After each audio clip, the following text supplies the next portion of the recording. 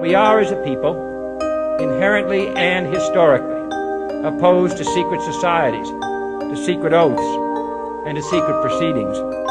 Behave yourselves. So that is the secret to Lumacorp's success.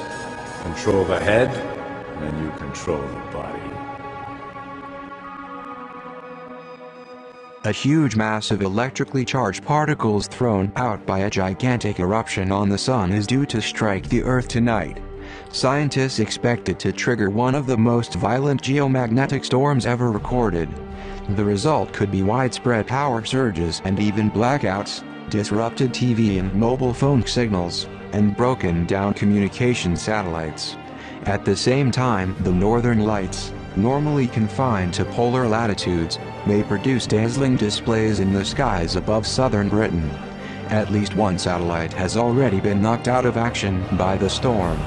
Japan's space agency said its Kodama communication satellite had been temporarily shut down after malfunctioning. The solar flare that caused the eruption burst out of a sunspot at 10.54 am yesterday. Experts said it was the strongest flare seen in the past 30 years. The explosion caused a coronal mass ejection, CME, which is now speeding towards Earth. Last week another CME only hit the Earth, a glancing blow, yet was able to disrupt airline communications. The solar flare was classified as an X1A category explosion, meaning it can trigger planet-wide radio blackouts and long-lasting radiation storms. Although the charged particles present no direct danger to people on the ground, they could have a devastating effect on electrical equipment. Geomagnetic storms are classified on a scale of 1 to 5.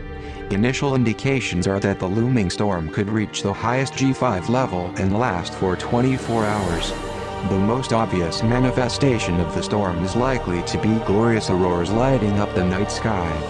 Usually the northern lights, or aurora borealis, is only visible in Britain from northern Scotland.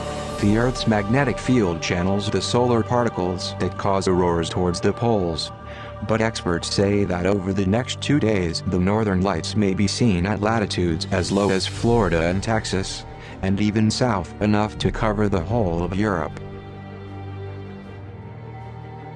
And thank you for uh, feeding the Bush family.